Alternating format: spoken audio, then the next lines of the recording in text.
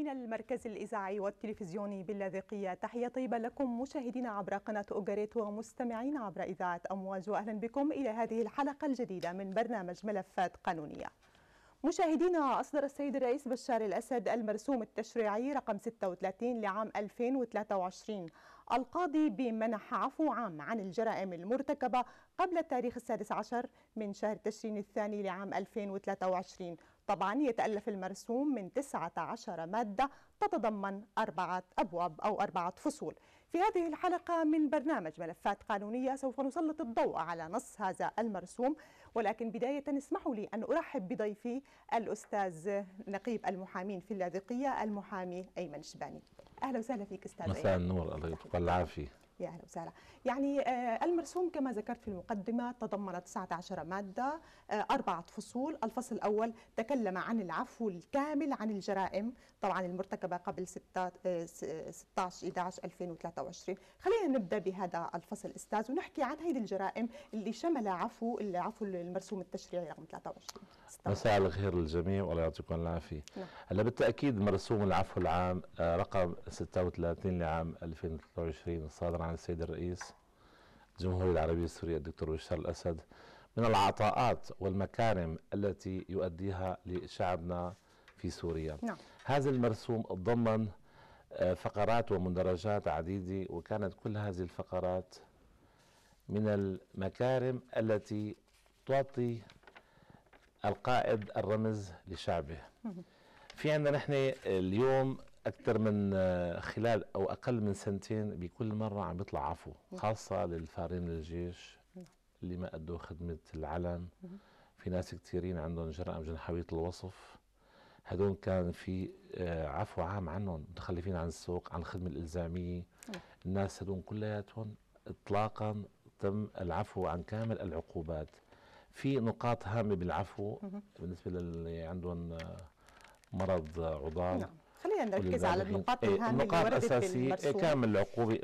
نحن من العقوبات اللي فيها دائما أو الجرائم اللي فيها عفو عام بالمرسوم بتحب قلت لك إياها بين لك عليها على النقاط الأساسية الجنحويه الوصف انتحال الصفة.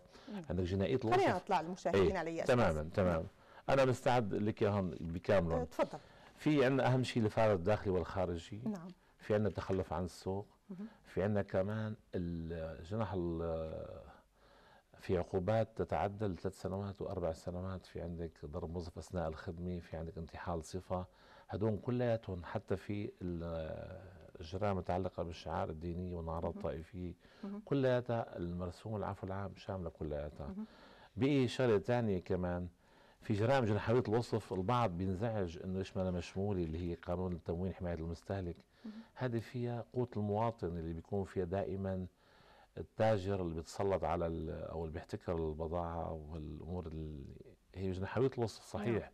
بس لها مردود سيء على حياة المواطن. نعم بالتأكيد. قوت الشعب تمام خط أحمر. نعم خط هذا أحمر. قوت أح... أي. نعم لكن قبل ما ننتقل هناك بعض فيما يتعلق بالإفرار الداخلي والخارجي. أيوة. آه خلينا نشوف كيف يعني تعاطى معه المرسوم. آه شو قد المهله اللي انعطت للأشخاص الفارين ثلاث شهور ثلاث شهور لأي وحدة شرطية أو لأي دائرة قضائية. ثلاث شهور فيما يتعلق بمين؟ بالفرار الداخلي. حتى الخارجي كمان الخارجي أعطاهم مالي أكثر من هيك بتذكر. الخارجي على إيه ستة أشهر. ستة أشهر ستة تماما أشهر. تماما ستة أشهر. نعم.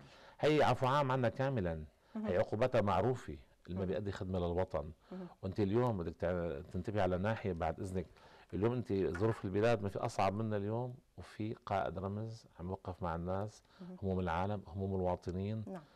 بالرغم من كل العواصف وكل اللي صار على هالبلد الحمد لله رب العالمين الأمور بالنسبة للمؤسسات القضائيه كلياتها اليوم.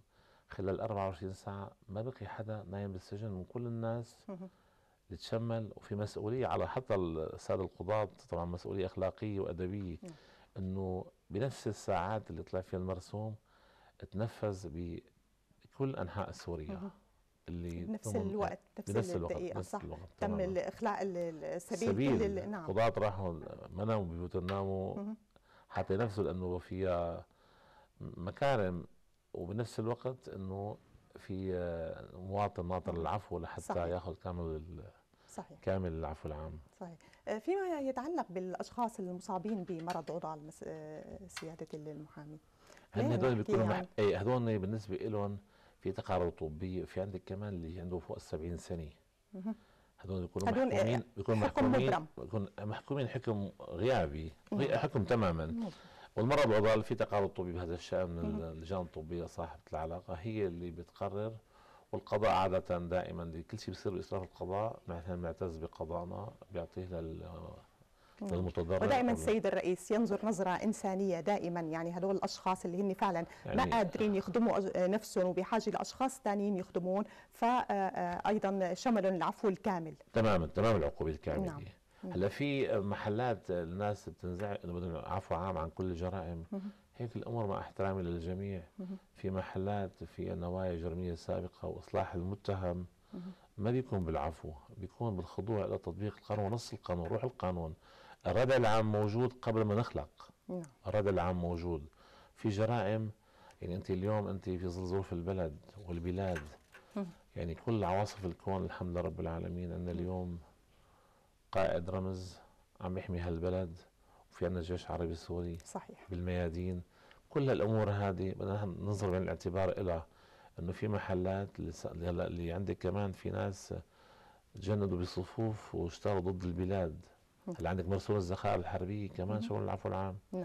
الأسلحة القابل للترخيص عندك السدس الحربي بدون ترخيص عندك اسلحه الصيد كلها بالرغم من وجود مرسوم عم بشرعن إنه روح رخصها وادفع الرسوم بدون السؤال عن بلد المنشأ. كل الأمور هذه من العطاءات الكبيرة من مرسوم العفو العام الصادر عن السيد رئيس الدكتور بشار الأسد. يعني آه، أنا أستاذ أيمن بدي آه، أدخل بتفاصيل المرسوم أكثر يعني. آه، في أشخاص هن خاطفين؟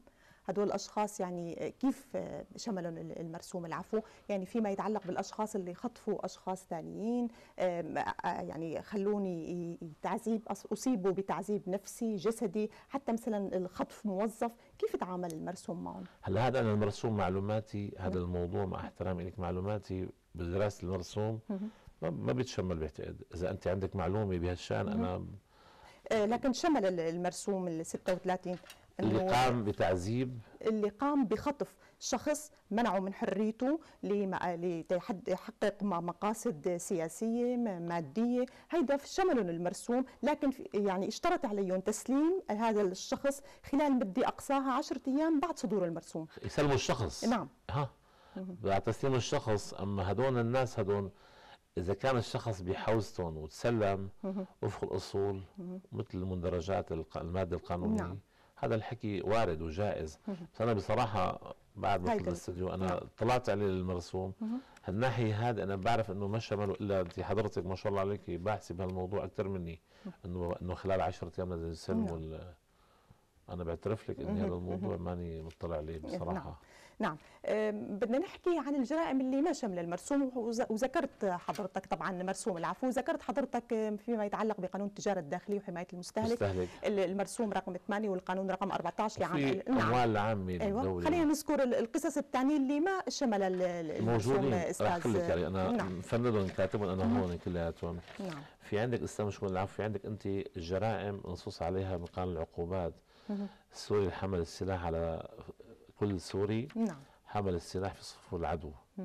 عندك كمان كل سوري ولم ينتمي إلى الجيش واقدم في زمن الحرب على اعمال ضد سوريا. نعم. هذا المرسوم طبعا أكيد ما شملهم في عندك كل سوري قدم سكن أو طعام أو لباس لجاسوس أو جندي هذا بالعادة دائما من سرق أشياء أو وسائل أو معلومات. عرفت كيف؟ هذول الدعاوي هي. أو عندك أنت كمان تجار المخدرات كمان مش من العفو العام. الاتجار بالمخدرات. تماما. حتى الترويج كمان هذول من الطبيعي بمكان جرائم شائنة فيها لكن كأنه صدر عفو عن التعاطي التعاطي تعاطي. والشراء واستلام وتسليم أيضا مواد مخدرة بقصد التعاطي أو بقصد كل شيء اسمه تعاطي نعم. وبقصد التعاطي تشمل مرسوم العفو العام. آه، عفو كامل عنه. عفو عن تمام العقوبة. آه، عفو عن تمام العقوبة. نعم. تمام العقوبة. في كمان عندك أنت هون في جرائم من خطف بالخداع أو لعب الفتاه أو امراه بقصد الزواج. كمان هي المرسوم العفو العام كمان ما شملها في أنا بنضل مفنده أنا كلياتهم وعامل لك جدول فيهم كلياتهم نعم نعم. آه، طيب للاستفادة من مرسوم العفو وتحقيق آه، تخفيف العقوبة اشترط المرسوم بعض الشروط أستاذ أي. في إسقاط الحق أيمن. الشخصي نعم. في إسقاط الحق الشخصي من المتضرر. هي كمان إنه بيشمل العفو العام للإنسان اللي بيكون المدعي الشخصي أسقط حقه. نعم. ما ضروري إنه مثلا يكون آه، قابض أو شيء بس يحضر إلى الدار القضائية. وفي كمان الجرائم المشموله بالعفو بيبقى حق المواطن وحقوق العالم الشخصي. بالحكم بالتعويض هذا حق للناس جميعا يعني. هذا في حال كان في صدور حكم مبرم بحق المجرم. لا آه، اليوم بس يطلع العفو العام في دعاوي بتم ماشي أمام نفس المحكمة من أجل التعويض. لأنه في عندك الجرم تشمل بالعفو. العقوبة تشملت بالعفو. نعم. بيبقى الحق الشخصي بتم أمام نفس المحكمة. لكن المرسوم ميز للاستفادة من العفو بين الجنح وأيضا الجنايات, الجنايات. خلينا نحكي كيف ميز المرسوم للاستفادة من العفو. طبعا في حالتين ميزون المرسوم. خلينا نحكي عنهم أستاذ أيمن. هلا في عندك أنت جناية تعاطي المخدرات. يعني نعم. هذه بتمام العقوبة هي جناية. نعم. جناية. في عندك الجنح كلها اللي هي انتحال صفي ضرب موظف أثناء الخدمة عندك آه، سلاح الحرب بدون ترخيص بالرغم من عقوبته الكبيرة كمان. تشمل العفو. في كمان إثارة مع كل الأمور هي كلها موجودة تمام العقوبة مشمول العفو العام يعني إذا كانت الدعوة العامة محركة أو يعني لم يتم تحريكها هون كيف بيتم الاستفاده من المرسوم النيابة العامة نفسها النيابة العامة إذا كان شخص موقوف مقبوض على لدى المخافر أو أقسام الشرطه فورا تطلق سراحه. إذا كان آه، ساقوا يا فورا بيتركوه في حال في حال تم إسقاط دعوى الحق العام لو نعم سقطت نعم. يبقى الحق الشخصي. يعني أنت اليوم النيابة العامة تدعى المحكمة المختصة من أجل النظر بالحق الشخصي التعويض للمتضرر. نعم. وفي حال رفض مثلا هذا الشخص المتضرر رفض أنه يسقط حقه ما بيشمل المرسوم أستاذ أيمن؟ العفو عن العقوبة حتما. العفو عن العقوبة انتهينا منها. وبيطلع العفو تشملت العقوبة. نعم. بقى بقي شو؟ المتضرر اللي هو مدعي الشخصي يطالب بحقه بالتعويض عن هالجريمة اللي هو تعرض لها من المدعي عليه. هاي القضاء هو بينزل بالتعويض بهالموضوع هذا. نعم. إنه في نسبة معينة بتحكم فيها المحاكم عندنا المختصة بالتعويض للمتضرر عن هالفعل اللي تعرض له من جراء ارتكاب مدعي لهذا الجرم. طيب وفي حال إنه يعني مثلا آه، تسديد المبالغ المالية، تسديد الالتزامات المحكوم بها هذا الشخص المجرم، آه، كيف بيكون؟ بيكون يعني إذا تم تسديدها بيشمله العفو؟ أكيد. أكيد. أكيد. هلا هو في محلات يعني التسديد هون يقوم مقام التسديد يقوم مقام إسقاط الحق الشخصي؟ لا. في عندنا اليوم نحن تسديد غرامات موضوع منفصل. في المرسوم أكد نعم. على موضوع تراجع أنت جهات اداره التنفيذ المدني عن طريق المرسوم نعم بموجب المرسوم ونفس الوقت انت بتأدي الالتزامات المترتبة لك حتى يتشمل المرسوم العفو فيه. نعم. تماما. فيما يتعلق بجرائم أضعاف الشعور القومي إثارة النعرات المذهبية الطائفية أيضا فيما يتعلق بوهن نفسية الامه زمن الحرب. هيدي الجرائم شو هي من الجرائم الشائنة. نحن بنعرفها هي إنه حتى ما بيصير يكون ناخب أو منتخب قد ما لها آثار سيئة بقلب المجتمع من جراء تصرف الشخص. نعم.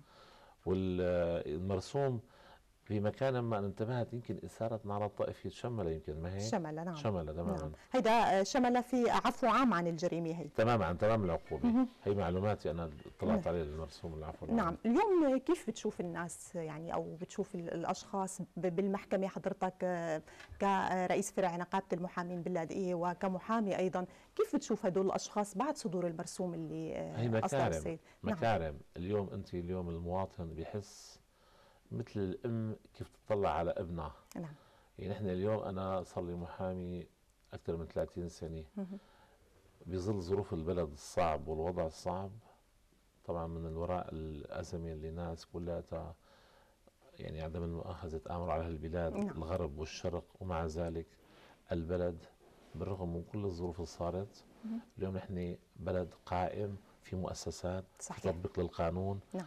مع احترامي للجميع اللي ما أخذ حقه اليوم في هالبلد ما بياخذ حقه في مكان في العالم. صحيح. المواطن اليوم شو بيهمه؟ إلا يستفيد ليرجع على المجتمع فكره سليم ومعافى بالرغم من اخطائه المتكررة يعني. هلأ اليوم العالم مبسوطة نعم. العالم بيتصلوا معنا دائما. يعني أنا بتذكر حالي يوم طلع العفو الخميس الأحد أكثر من واحد على المحكمة ما اجى انبسط. يعني كان مسرور إني العفو خايف وعامل وشايل وحاط انه في حكم قضائي راح يصدر بحقه نعم. كيف؟ نعم جميل. لكن في بعض التعليقات مثل ما ذكرت آه، أستاذ أيمن ببداية حديثك إنه يعني في جرائم كبيرة شمل العفو لكن جرائم صغيرة مثل اللي وردت بقانون التجارة الداخليه إنه ما تم آه، تشميلها بالعفو. خلينا نحكي أكثر عن هي النقطة. قد إيه مهم فعلا إنه هي اللي لها علاقة بقوت الشعب قد إيه هي خط أحمر قد إيه نحن ما لازم فعلا نتهاون فيها ابدا من شان ما هلا هو مع احترامي النصوص والقوانين الوضعية كلها بتقول الشروع بالجنح لا يعاقب عليه إلا بنص. نعم. وهذا الموضوع من الطبيعي بمكان كل شيء اسمه مخالفات تموينية وكل شيء بيتعلق بقوت المواطن نعم. من الطبيعي بمكان مصر عفو. لأنه إذا بدك تعرفين لدول خاصة التجار البعض للأسف ما رح سميهم البعض يعني اللي بيستغلوا. اللي بتسوي لهم نفسهم إنه فعلا. إيه تماما. هلأ في عندك ارتفاع أسعار ما هو مقبول في مكان ما. أنا هذا بدي يعفي عنه بدي كافئه نعم. رجع يعملها ثاني مرة. يعني اليوم فار من الجيش برجعوا على الخدمة العسكرية والطبيعي الإنسان يخدم عسكري في بلده في وطنه. صحيح. هذا الطبيعي هون هون موضوع بيتعلق بشخص بفرد استفاد من عقوبة نازله بحقه إذا ما التحق بالخدمة العسكرية. وعفينا عنك. المفروض تلتحق أنت وتسوي وضعك. في عندك المواد التموينية ارتفاع الأسعار السلع الاستهلاكية. للبعض أنا إذا بنعفي عنها اليوم عم نقول لهم كل شوي أنتم ارفعوا الاسعار. بالرغم من هن عم نشجعهم أكثر. تماما نعم. تماما. أنا هذا وجهة نظري الشخصية بقى ما بعرف. وأنا بال... مع احترامي للجميع العفو هو مدروس. نعم. يعني محلات اللي فيها إصلاح للمجتمع ومحلات اللي وللاشخاص حتى. حتى طبعا للنقاط اللي صار العفو ممتازة. لأنه نحن اللي تبعين بيحتكروا المواد المواد اللي بيحتكروا المواد التموينية. في عندك كمان التلاعب الدقيق التمويني. نعم. في عندك هذول لازم تكون عقوبة صارمه صحيح. بالرغم انه صحيح الغرامات اللي عم تطلع عن محك عن بموجب القانون بحقوا لها الناس هدول صحيح عالية بالنسبة لهم بيشوفوها. ما بتعادل نقطة أو 1% من الشيء اللي عم بيعملوه البعض القلائل اللي عم بيستغلوا للأسف ظروف البلاد وظروف الأزمة. صحيح. طبعا أستاذ أيمن بدنا نتابع حوارنا لكن هلأ مشاهدينا بدنا نروح لتقرير لزميلتنا دارين عارف حول إطلاق سراح الموقوفين الذين شملهم العفو المرسوم العفو الصادر من السيد الرئيس رقم 36 لعام 2023 بالدقائق القادمة.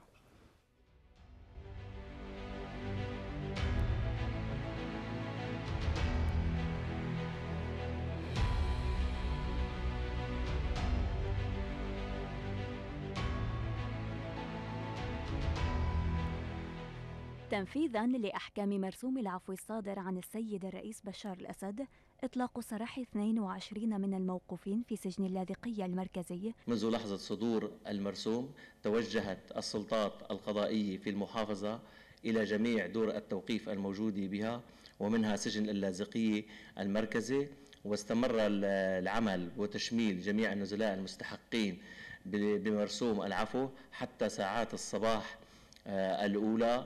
وما زلنا مستمرين لحد اليوم بتشميل النزلاء المستحقين بمرسوم العفو لأنه كما تعلمون بأن مرسوم العفو تمتد آثاره لشهور وربما أكثر وسنين. آه، خصوصا بالنسبة للمحكومين الذين تم تشميلهم بنصف عقوبة أو ثلث عقوبة من الجرائم المرتكبة آه، المرتكبة من قبلهم. نحن بنشكر سيادة الرئيس على المرسوم العفو اللي طلع لنا اياه وشملنا فيه والحمد لله وانه بدنا نرجع المجتمع ونبلش من أول وجديد ونحن بننصح العالم إنه ما بقى ترتكب أخطاء وإذا كنا مرتكبين أخطاء راح نبلش من جديد. نحن بنشكر سيادة الرئيس على العفو اللي طلع لنا اياه وان شاء الله بنكون عناصر فعالين بالوطن. نتشكر سيادة الرئيس على مرسوم العفو اللي طلع لنا إياه. وإن شاء الله بنكون عناصر فعالين بالمجتمع بعد العفو. وننصح إنه اللي ما يصير حدا في ارتكاب أي أخطاء. نحن بنشكر سيادة الرئيس على هالمكرمة الجديدة اللي أعطانا إياها. وإن شاء الله راح نبدأ حياة جديدة. أول شيء بحب أشكر سيادة الرئيس على العفو. وإن شاء الله بنكون مثال للشخص الصحيح والإنسان الصحيح في بناء هذا المجتمع. شكرا لسيادة الرئيس على المكرمة هاي مكرمة العفو. وإن شاء الله في عالم كثير رح تترجع عن أخطائها وترجع تعيش بأمان وبسلام ببلدها. المرسوم فرصة حقيقية لإعادة من شملهم العفو إلى جدة الصواب والعودة إلى حياتهم الطبيعية.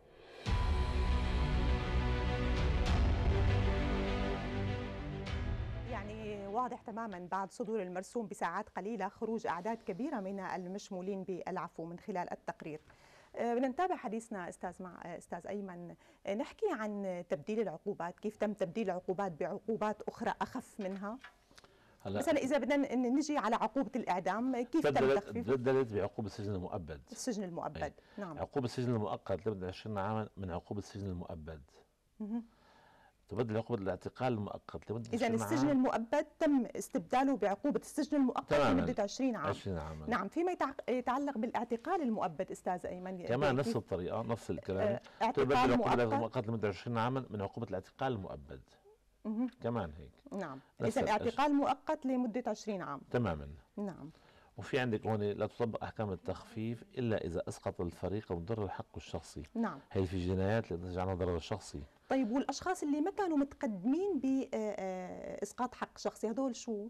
شو وضعهم؟ هدول المرسوم العفو أعطاهم إنه إذا بصير إسقاط نعم. حق شخصي. أعطاهم قد إيه؟ مدة؟ 60 يوم؟ 60 يوم 60 يوم, يوم. تماما. 60 شهرين 60 نعم. يوم تماما. فيما يتعلق بالجرائم اللي آه، شملها آه، بشكل جزئي. آه، خلينا نحكي مثلا عن آه، أحد العساكر اللي فقدوا آه، أسلحته اضاعها سواء بقلة اهتمام قلة احتراس. خلينا نحكي قد هلا هلا اسمحي لي هلا في نعم. عندك أنت إذا عسكري فقد بإهماله طبعا نعم. سلاح الجيش هي العقوبه كاملة كانت تشملها يعني العقوبه عندك أنت اليوم عسكري هي جنحويه الوصف. نعم. إذا عسكري أهمل يعني بإهماله فقد سلاح الجيش الجرم الحق العام تبعه مشمول بالكامل.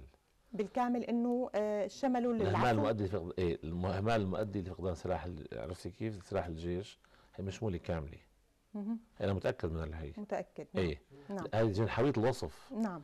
السلاح الفردي عند مسدس حربي بحوصه للعسكري إذا كان بإهماله فقد سلاح الجيش هذه مشمولة بالعفو العام كامل العقوبة. نعم. في محلات ثانية في مثل ما حكيتي حضرتك في آه، إعفاء جزئي من شان يعني يكون مثل بيقولوا يحمل المسؤولية للعسكري إنه هلا في محلات الاهمال مشمول بالكامل تماما إيه؟ في آه، طيب يعني هيدا هيدا الموضوع مش يعني حتى تكون درس للعسكري آه، ليس أكثر تمانا هل هذا موضوع المؤسسه العسكرية خصوصيه خاصة نعم.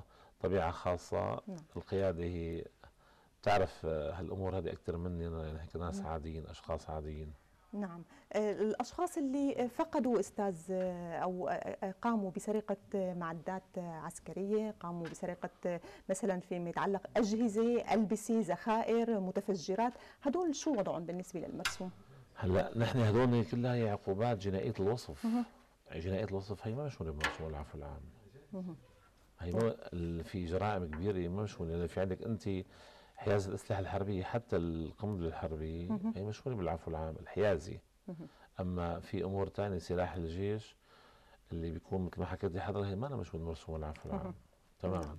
المستثنات أستاذ من الجرائم مثلا آه، اللي بتتعلق بالأسرة بالأسر يعني مثلا إذا افترضنا السفاح مثلا بين الأصول والفروع هيدي شو وضع؟ هي تم استثناءها أم أنه هي مشمولة بالعفو؟ مشمول بالعفو العام مشمول مشمول بالعفو العام. نعم. يعني بدي أتشكرك أستاذ أيمن على الإضاءة ل والله بالعكس ما شاء الله عليك انت محضرة وما شاء الله عليك إعلامية شكرا. يعطيك ألف عافية. مشاهدينا إلى هنا تنتهي حلقة هذا اليوم من ملفات قانونية موعدنا معكم يتجدد الأسبوع المقبل في حلقة جديدة. إلى اللقاء.